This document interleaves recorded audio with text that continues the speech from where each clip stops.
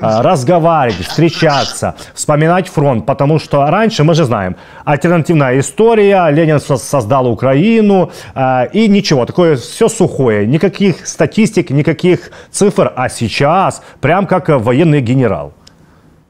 Ну, тут, я думаю, как минимум две группы обстоятельств есть, две группы причин.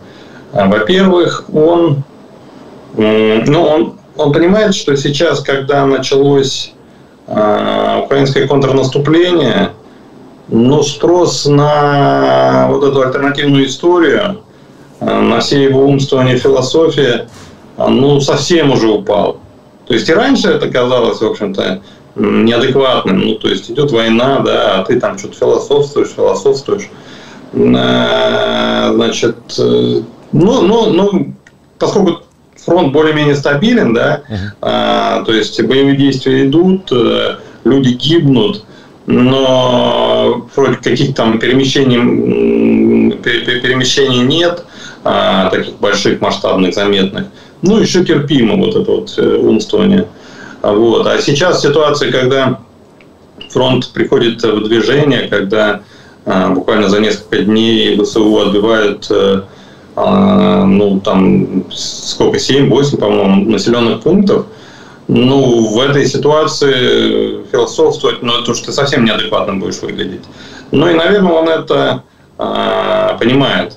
А, а вторая группа причин, я думаю, связана с каким-то, что ли, отчаянием. Он, он как-то вот, как, как будто, знаете, шаман какой-то бросился заклинать прямо реальность. Это, знаете, ну, какой-то такой вот э, характер носит интересный. Я вчера текст даже об этом написал, я посчитал. Он за последние э, неделю, ну, там чуть больше, да, полторы, три раза, э, значит, лично рассказывал о том, сколько танков и бронемашин украинских уничтожено. Три раза это, это очень много. А, и цифры такие, знаете, там да. ну, совсем какие-то запредельные, да, а, значит, э, то, то там 100, потом 200, потом сразу чуть, чуть ли не там 300, а бронемашин так вообще там больше 500, по-моему, уже назвал последний раз. 678. А? 678. Да, да, да. Ну, в общем, как он сказал, примерно 670. Да, вот, я тоже обратил внимание, примерно и точная цифра. Да, да, да, да. да. Значит, он, ну, такого раньше никогда не было, то есть э, все-таки он, он же стратег, так сказать, да, вот а оперативные вещи должны комментировать, э, ну, люди уровнем пониже. А, а он вот тут лично сам взялся. Причем, вот я говорю, он делает это с каким-то вот отчаянием, таким прям как, как в последний раз, что называется. Он, вот знаете, он утратил, это выглядит суетливо, какая-то су, суетливость во всем этом присутствует. И то есть он, вот он чувствует, видимо, что не производит впечатления на людей, что не верят они, и он приходит в отчаяние и снова и снова пытается вот, а, ну, в общем, пылит уже вот э, утратил он вот это вот э, такое ощущение, утратил солидность. Э, вот. А в консервативной стране, ну, это вообще главное качество, которым должен обладать политик. Ну, он не должен суетиться ни в коем случае. А Путин выглядит вот именно таким, знаете, как что-то мальчишеское в этом есть. Вот, вот как мальчишка, который вот видит, что ему не верят, да, и вот он там пытается, аргументов новых нет, и он вот повторяет старое, и все более завирально все это выглядит, да, цифры там растут уже в небеса куда-то, а, значит, взлетели. И я думаю, вот это такая, то есть психологическая вот эта вторая группа причин, она а, связана вот с а, пониманием, что изверил, может быть, социология какая-то там поступила, Кириенко, например, наконец-то до него достучался, что-то показал, ну вот э, уровень доверия упал к официальной информации, может быть, заметно. Я думаю, он значит, как-то вот отреагировал так. Он, ну, он, он, в принципе, раздражительный бывает, когда к нему про проблемы вот приходят и говорят. Вот. Что, дескать, э, не умеете пропагандой заниматься, уроды криворукие, значит, не верят вам. Вот я сейчас вам покажу класс. Вот. Ну и вот он пытается этот класс показать. Теперь, значит, э, вот наяривает там во все. Как-то так. А, Бакс, вот мы с вами, говорю же, не виделись и не, и не проговаривали.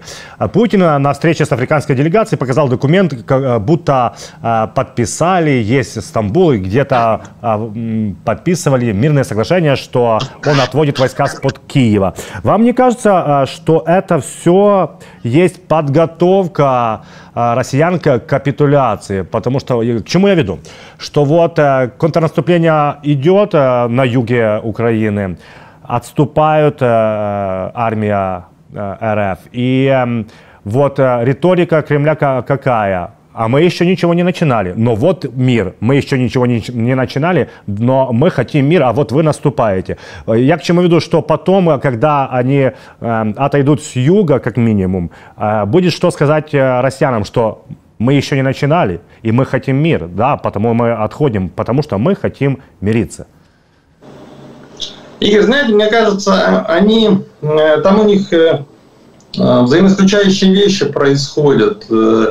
А, я думаю, вот Путина колбасит, то, что называется, вот он, он в таком неустойчивом эмоциональном состоянии пребывает. Ну, в какие-то моменты он стабилизируется, он берет себя в руки, вот, а потом опять какой-то вот э, раскардаш начинается. Ну, понятно, по, по понятным причинам все-таки э, враг наступает. То есть, если, если вообще чуть-чуть абстрагироваться от текучки, угу. мы, мы так чуть-чуть, э, вот глаз, что называется, замылился, когда каждый день наблюдаешь за процессом, да, погружаешься в текучку, и чуть-чуть теряешь возможность посмотреть на ситуацию со стороны. А если посмотреть со стороны, это же ну, вообще какое-то невиданное позорище а, значит, происходит.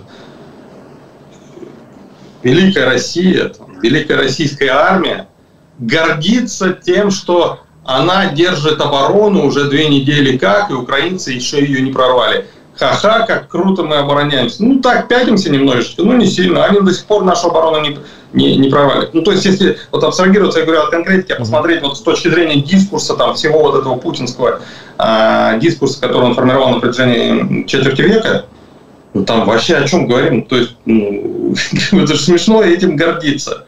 То есть они наступают, вообще сам по себе факт, что Россия обороняется, Украина наступает, с точки зрения вот путинского дискурса, это нонсенс уже какая глупость вообще, как такое может быть, как это маленькое неполноценное значит, государство, а, неполноценный народ могут вообще наступать на Великую Россию. А тут такой Путин, ха-ха, смотрите, они наступают, и мы, значит, держим оборону. Уже две недели они не, про, они, они не прорвали. Ну, слушайте, а вы полгода, ну, Бахмут пытались взять, вернее, там год, да, а, значит, э, ну, и, и, и, короче, вот есть в целом вот это вот разительное несоответствие э, вот этих вот э, изначальных амбиций и микроскопического результата, вернее, отрицательного результата.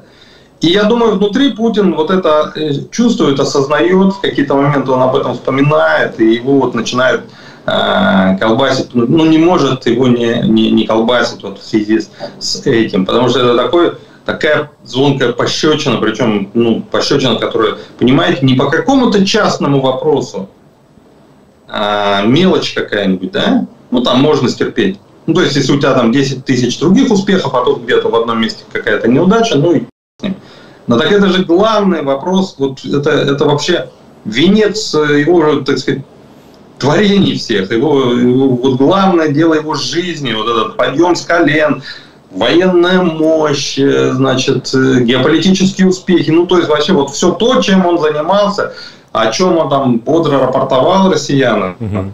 чемпионом в области чего он считался, и вдруг, и вдруг такой вообще коллапс. Это, а, ну, дело всей жизни рухнуло вот, без преувеличений.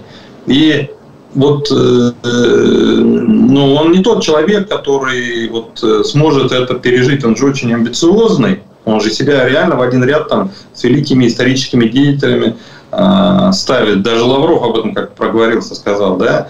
А, вот. Да и сам Путин говорил, помните, что после смерти Махатмы Ганди поговорить-то не с кем. А, вот. То есть он себя вот, как там у Маяковского, я себя под Лениным чищу. Вот. Э, и поэтому и, и он, в общем, вот время от времени впадает вот из-за этого э, разительного несоответствия между тем, что он хочет, и тем, что он имеет, он э, впадает в э, такой вот раскардаш, и так, так его вот начинает плющить. И, да, и, и поэтому его вот бросает туда-сюда. И он одновременно, а, то есть в, одно, в один момент он уже смирившись с тем, что победить не удалось, там хочет мира, то есть уже рационально вот в этот момент он думает просто о том, как ему удержать ситуацию. Да? И затянувшаяся война, да еще проигрываемая, очевидно, ему, а, который съедает все ресурсы, какие есть в стране окончательно, а очевидно, она ему невыгодна. Она ведет к революции, как когда-то вот э, Первая мировая привела к революции 17 года. Вот прямо в том же направлении движемся. И это ему невыгодно, и он это понимает. Вот какие-то моменты в нем э, рацио, логика побеждает эмоции, и он ну, так, там, дает установку «мир любой ценой». А потом опять у него эмоции «да как, какой мир? С кем?» Значит, с украинцами, с Зеленским, значит, да их будем там крайнем случае бомбу взорвут ядерную там, да, и вот опять эмоции опять у него начинаются. И, и тогда он начинает храбриться, и там, в общем, э, говорит, э, ну, нечто другое по отношению к тому, по поводу чего он дал установки только что, вот, э, да. Понимаете, ну, то есть, вот неуравновешенность такая эмоциональная, разбалансировка, она ведет к к тому, что вся система выглядит непоследовательно. То есть она то мира хочет, то войны, потом опять мира, опять войны. Вот ее так и плющит.